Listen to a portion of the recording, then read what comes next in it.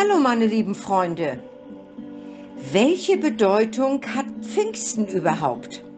Für die meisten Menschen bedeutet Pfingsten ein verlängertes Wochenende.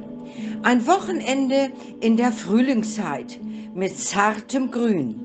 Man unternimmt Ausflüge in die Natur oder man trifft sich zum Grillen.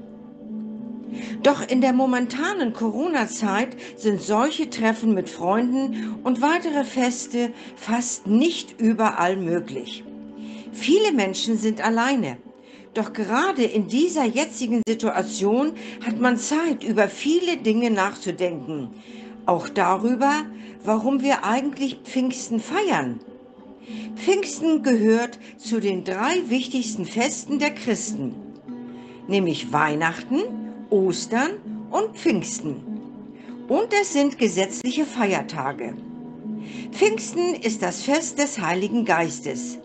Evangelische Theologen sagen, Zitat, dieser Geist bewirkt bei Menschen nicht nur früher, sondern auch heute neue Kraft und neuen Mut.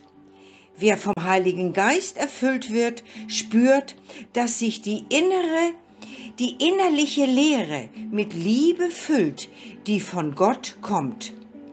Ein katholisches Portal meint, dieser Heilige Geist, der auf die Jünger herabkam, schuf die Einheit der Gläubigen und hob die Kirche aus der Taufe. Also sind weder Gott noch Jesus, sondern die Kraft des Glaubens für die Christen in der Welt gemeint die an keine Figur gebunden sind. Pfingsten endet nach 50 Tagen der Osterzeit. Der Begriff wird abgeleitet vom griechischen Wort Pentekoste, der 50. Tag. Ursprünglich geht vermutlich Pfingsten auf das jüdische Fest zurück, die Feier der ersten Ernte im Jahr, an dem auch zahlreiche Pilger nach Jerusalem kamen. In der Bibel beschreibt eine Apostelgeschichte, dass ein Wind über die versammelten Christen fegte, so dass diese in mehreren Fremdsprachen predigten.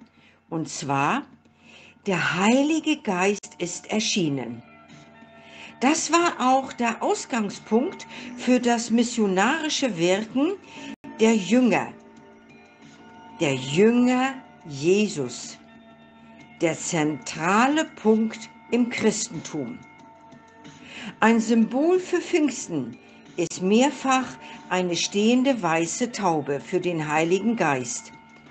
In der Bibel spielen Tauben in der Pfingstgeschichte keine Rolle. Stattdessen werden Feuer und Flamme erwähnt.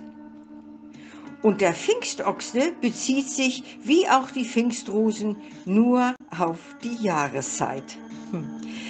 Gefeiert wird das Pfingstfest von den gläubigen Christen mit Prozessionen, Andachten in der Kirche oder unter freiem Himmel.